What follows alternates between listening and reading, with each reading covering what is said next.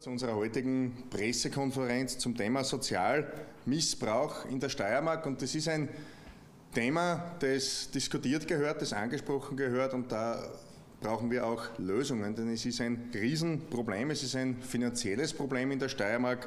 Und es ist auch eine Frage der Gerechtigkeit, wie das Sozialsystem wie die Sozialleistungen, die ja da sind für jene Menschen, die wirklich Unterstützung brauchen, die von unseren Steuergeldern auch bestritten werden, wie das von manchen ausgenutzt wird. Wir haben hier äh, als Grundlage für diese Pressekonferenz umfangreiches Zahlenmaterial. Wir haben drei Anfragebeantwortungen. Wir haben eine vom Sozialminister Rauch, wir haben eine von der Soziallandesrätin Campus und wir haben eine vom Innenminister Karner. Die beiden auf Bundesebene habe ich eingebracht. Die Anfrage an die Soziallandesrätin Campus hat der Marco Triller eingebracht. Und die wichtigsten Kennzahlen, Sie haben es auch in Ihren Unterlagen, sehr geehrte Damen und Herren, zur Sozialunterstützung einmal allgemein in der Steiermark, die wir jetzt auch vom Bundesminister Rauch, vom Sozialminister Rauch äh, auch hier bekommen haben. Im Jahr 2023 gab es in der Steiermark 20.831 Bezieher der Sozialunterstützung. Und deutlich mehr als die Hälfte, nämlich 52,32 Prozent davon waren Ausländer. Und davon wiederum waren 27 Prozent Asylberechtigte. Und in Graz befanden sich 70 äh, Prozent aller dieser ausländischer Bezieher, also der, der, der, absolute Großteil dieser ausländischen Bezieher sind in der Landeshauptstadt Graz. Von den vollunterstützten Beziehern, das sind jene, die die 1053,64 Euro netto beziehen, waren 65,34 Prozent Ausländer. Die Gesamtkosten beliefen sich im Jahr 2023 auf rund 79,95 Millionen Euro. Also 80 Millionen Euro in der Steiermark werden dafür aufgewendet und das ist auch eine Kostensteigerung von rund 15 Millionen Euro im kurzen Zeitraum von nur vier Jahren. Also im Vergleich im Jahr 2020 waren es 65 Millionen Euro und jetzt sind wir eben bei fast 80 Millionen Euro. Also man sieht, das Ganze ist ein Fass ohne Boden und die Kosten für den Steuerzahler steigen enorm an und ich denke, mit diesen 80 Millionen Euro könnten wir auch andere wichtige Projekte umsetzen. Die wichtigsten Kennzahlen zum Sozialbetrug in der Steiermark, das ist jetzt die Anfragebeantwortung der Soziallandesrettung. Da haben wir zum einen äh, offene Forderungen gegenüber rechtskräftig verurteilten Sozialbetrügern, also jene äh, Summen, die quasi diejenigen, die rechtskräftig aufgrund des Delikts des Sozialbetruges auch äh, abgeurteilt wurden, sind äh, 313.464 Euro. Das ist wiederum eine Steigerung von über 43 Prozent gegenüber dem Jahr 2022, also in einem Jahr um 43 Prozent angestiegen. Und dazu muss man auch sagen, und das ist besonders bemerkenswert aus meiner Sicht, äh, es hat 1256 Fälle eines unrechtmäßigen Bezuges von Leistungen aus der Sozialunterstützung gegeben, aber nur 118 wurden angezeigt im Rahmen, also angezeigte Fälle im Rahmen der Sozialunterstützung, also lediglich ein bisschen über 9 äh, Prozent. Und da stelle ich mir schon die Frage, und das äh, wird auch die Frau Landesrätin Campus äh, zu beantworten haben, na warum werden nicht alle dieser Fälle und aller dieser Verdachtsfälle angezeigt? Das sollen dann doch bitte unabhängige Gerichte entscheiden, ob hier Sozialbetrug vorliegt oder nicht. Und das soll nicht der Beurteilung von irgendwelchen Landesbediensteten unterliegen, die ja noch dazu politisch weisungsgebunden sind. Ja. Das sollen unabhängige Richter beurteilen. Und ich erwarte mir schon, wenn es Verdachtsfälle gibt, äh, im Sozialbetrug und der Sozialbetrug, das ist ja kein Kavaliersdelikt, das ist ein Betrug an der Gesellschaft, das ist ein Betrug an uns allen, das ist ein Betrug an den Steuerzahlern und das ist auch äh, unfair gegen jenen, die zu Recht die Sozialunterstützung beziehen. Also das erwarte ich mir schon, dass alle dieser Verdachtsfälle auch zur Anzeige gebracht werden und ob es dann äh, zu, einer, zu einem Verfahren und zu einem Urteil auch kommt, das soll bitte nicht äh, ein politisches Büro letztlich auch entscheiden. Die Frau Campus, äh, muss ich auch äh, sagen, ist für die Steiermark gut, dass sie jetzt endlich aufhört, dass sie die Landesregierung verlässt, weil die Frau Campus hat im, im Sozialbereich und auch im gesamten Asylbereich mit ihrer Toleranz toleranzromantischen äh, Zugangsweise einen Scherbenhaufen hinterlassen und hat die Steiermark äh, immer attraktiver auch gemacht für Sozialleistungsbezieher, für Zuwanderer aus aller Herrenländern. Also das ist sicher kein großer Verlust für die Steiermark, ganz im Gegenteil.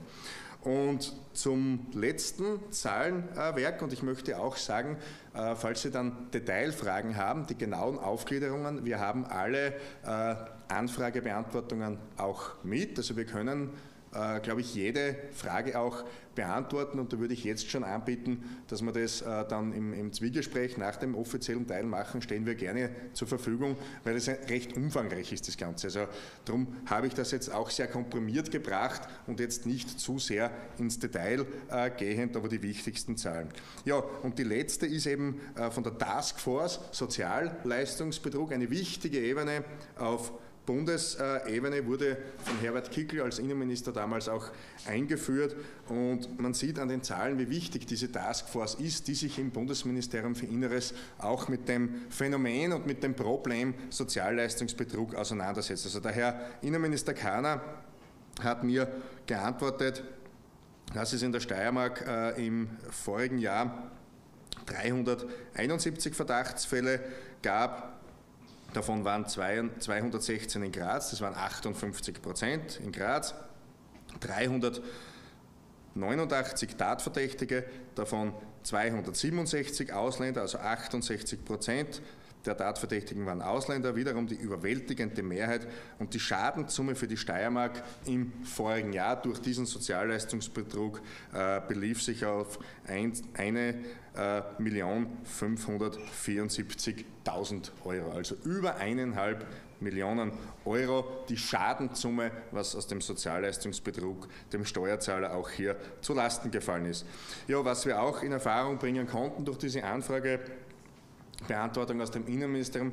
Heimaturlaube von Asylwerbern stehen auf der Tagesordnung. Das ist besonders bemerkenswert, dass man dort Urlaub macht, wo man angeblich verfolgt wird, wo man, äh, wo man nicht sicher sein kann, wo man geflüchtet ist. Ja.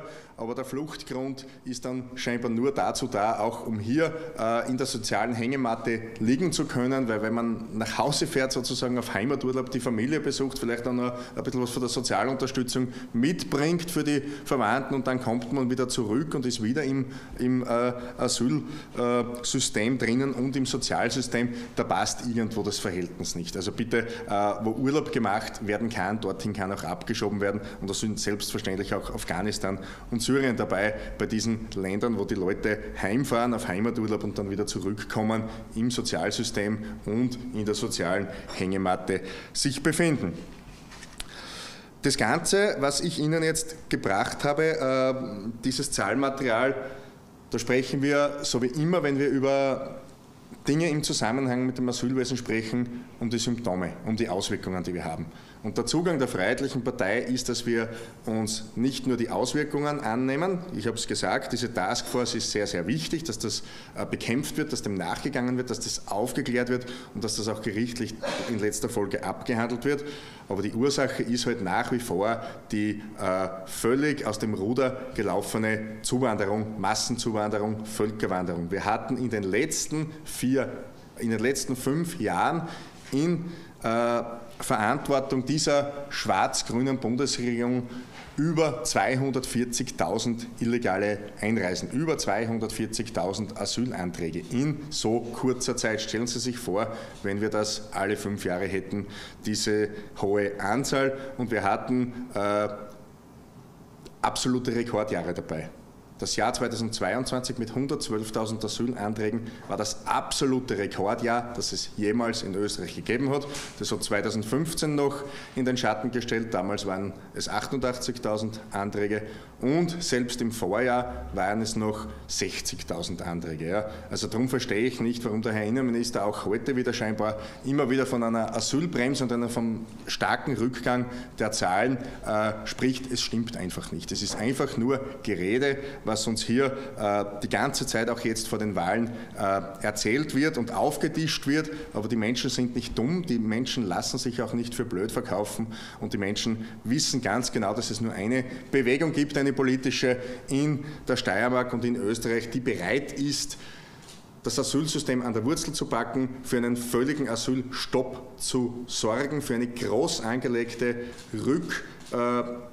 Rückschiebeaktion zu sorgen, Rückführaktion, und zwar jene, die äh, rechtskräftig negativ beschieden sind im Asylverfahren, also das heißt, die gar nicht hier sein dürfen. Wir müssen den Rechtsstaat sicherstellen, wir müssen den Rechtsstaat auch durchsetzen, und zwar mit allen Mitteln. Und wir müssen äh, natürlich auch jene, die straffällig werden, die kriminell werden, auch außer Landes bringen. Das ist ein riesengroßes Sicherheitsthema. Sie brauchen sich nur die Kriminalitätsstatistik ansehen. Da schaut es ähnlich aus wie in den einzelnen Sozialstatistiken. Und die Herkunft der Tatverdächtigen in der Kriminalitätsstatistik spricht eine klare Sprache, so wie auch die Belegungszahlen unserer heimischen Gefängnisse, wo mehr als die Hälfte der Insassen keine österreichischen Staatsbürger sind. Ja, und dann möchte ich das Wort jetzt äh, übergeben an Marco Driller, der den zweiten Teil unserer Pressekonferenz jetzt abhandeln wird. Damit gleich Platz Ja, auch einen schönen guten Morgen von meiner Seite. Vielen herzlichen Dank für das zahlreiche Erscheinen. Hannes Amesbauer hat viele Zahlen gebracht. Ich weiß, das ist vielleicht alles ein bisschen technisch, aber Sie haben in Ihren Unterlagen diese, diese Zahlen auch ersichtlich. Und in weiterer Folge haben wir aufgrund diesen, dieser Anfragebeantwortungen und dieses Zahlenmaterials einen Sieben-Punkte-Plan erstellt zur Bekämpfung des Sozialbetrugs in der Steiermark.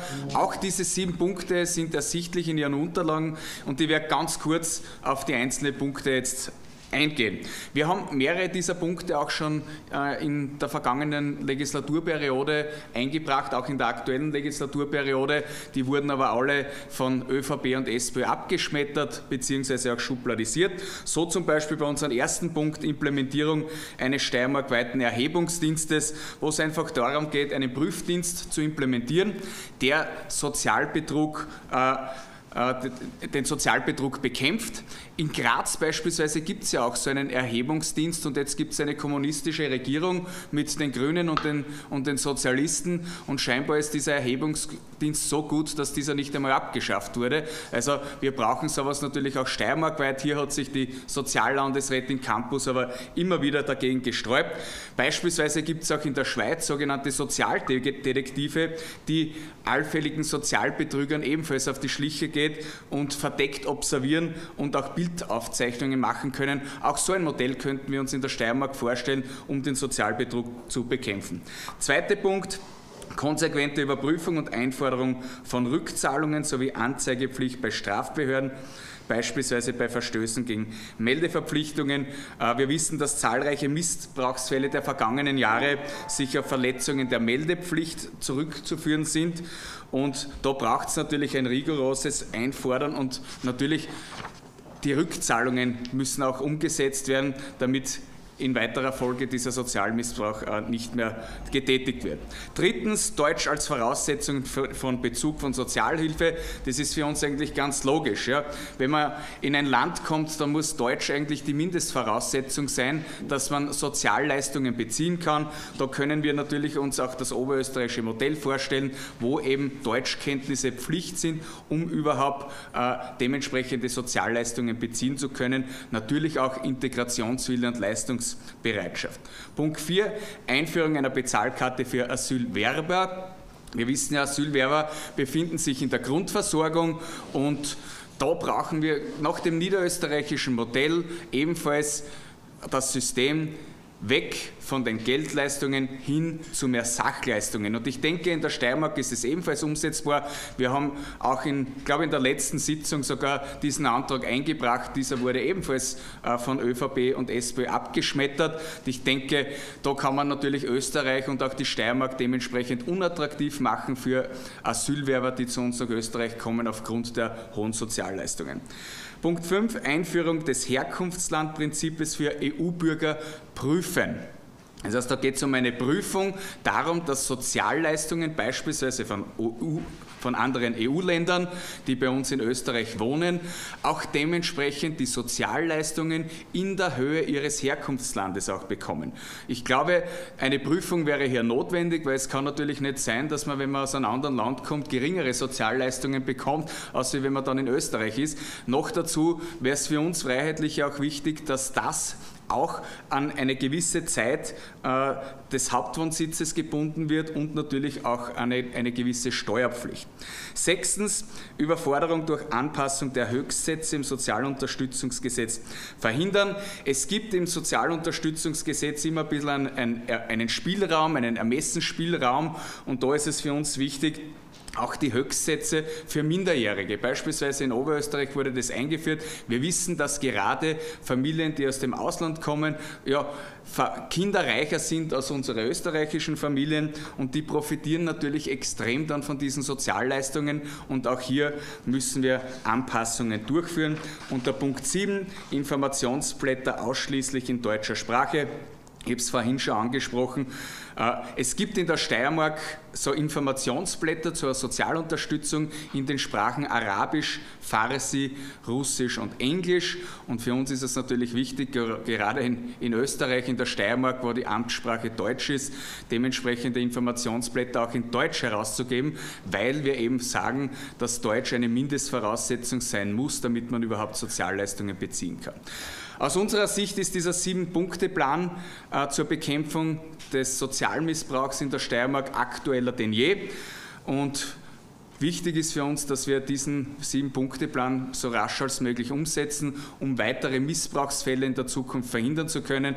Der Hannes Amesbauer hat es angesprochen, wie viele ja, Asylanträge wir in Österreich in dieser Legislaturperiode hatten unter einer schwarz-grünen Bundesregierung. Und ich glaube, es ist nur möglich, einerseits mit einer freiheitlichen Regierungsbeteiligung auf Bundes- und Landesebene zukünftige Sozialmissbräuche sowie auch diese Anzahl an Asylanträgen Anträgen einzudämmen. Soll es irgendwelche Fragen geben, bitte fragen. Ich glaube, wenn es ums Technokratische geht, bitte, dass man das im, im Zwiegespräch macht, weil die Anfragen, Anfragebeantwortungen haben wir da, aber soll es jetzt allgemeine Fragen geben, wir stehen natürlich zur Verfügung.